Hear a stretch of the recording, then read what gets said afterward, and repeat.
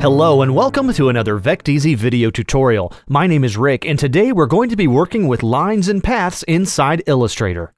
We've downloaded a vector of flowers and plants from Vecteezy and we'll use this as a demonstration and an example of how we can use the path and the line tools to recreate these flowers. So we'll start with the line tool. I'm going to click the line tool in the toolbar and simply draw a line on our document. Now I'm holding the shift key to make sure that line is perfectly straight.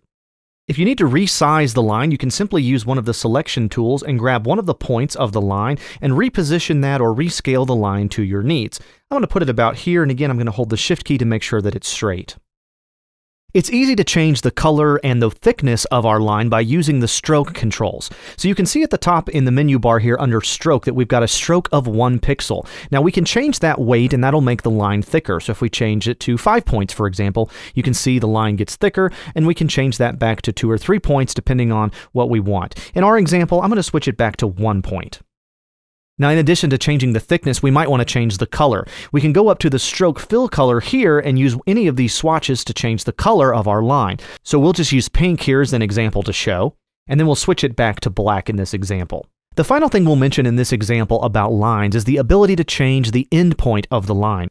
You can see our line has a squared top and a squared bottom, but in our other example over here, you can see those lines come to a nice point.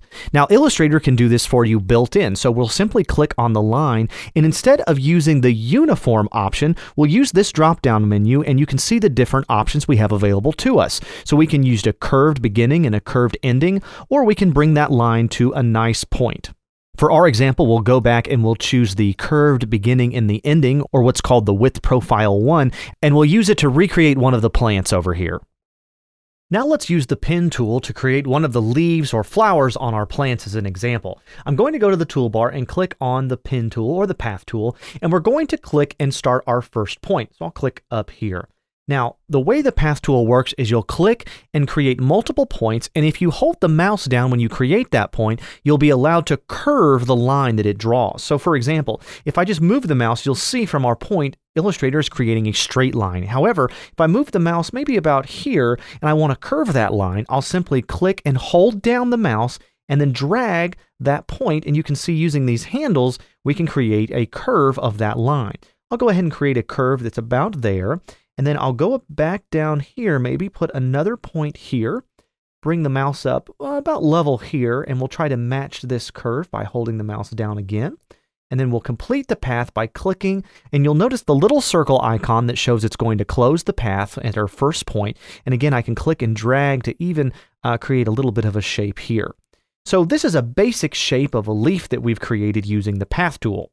Now you'll notice it's not perfect, and it's really easy to go in and modify the different anchor points on your path. So let's zoom in a little bit using the navigator, and we'll go and take a closer look at this path. You can see the bottom part looks pretty good, but the top part's a little off. So we'll go ahead and we'll click on the path, and then to manage the individual points within the path, we'll actually need to use the direct selection tool or the white arrow. Clicking on that will reveal the different anchor points within our path.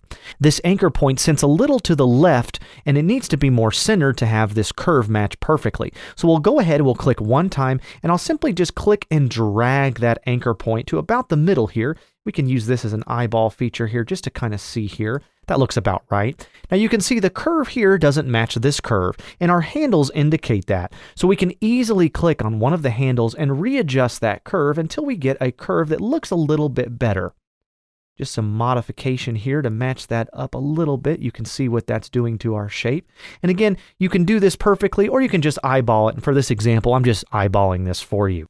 Now that looks pretty good. So now we've got a better shape, better looking leaf. We can click on our path using the selection tool and we can use the fill option to fill it in and we can turn off the stroke if we want to hide the stroke or the border. Now that we have our leaf, what if we want to add an additional point or anchor point, or actually remove a point from our path? Well, we can easily do that. We'll simply select the path again, but then we'll go over to the pen tool, and you'll see the different anchor points have been highlighted for us. When I roll over the mouse of these anchor points, you'll see the icon with the minus sign. That will tell Illustrator to remove this anchor point. So if I click on this, you'll see that anchor point has been removed and the path just goes to a straight line. I'll undo that to put our anchor point back. And you'll notice this time if I move the mouse to a part of the line segment, you'll see a plus sign that has been added. And that plus sign allows us to add an anchor point anywhere we want to. So in this example, let's say we want to take a bite out of the leaf. Maybe an animal or some kind of insect took a bite out of this leaf. What we'll do is we'll create a point here by clicking here, and then I'll create another point by clicking here. And then I'll do one more in the middle. Now, what that will allow us to do, I'll zoom in using the navigator again. We can then use the direct selection tool to pull one of these paths out. So you can see I'm going to pull that out here. I'm then going to use the handles in there to create kind of like a bite mark, if you will, and then reposition that as we want. And then I'll zoom that back out. So you can see now we've modified the original path we've made by adding additional points and anchor points. At this point, you can simply scale, rotate, and reposition each of the leaves, and then position them on the stem that we created using the line tool. That's all for now. Thanks for watching, and good luck on your creative journey.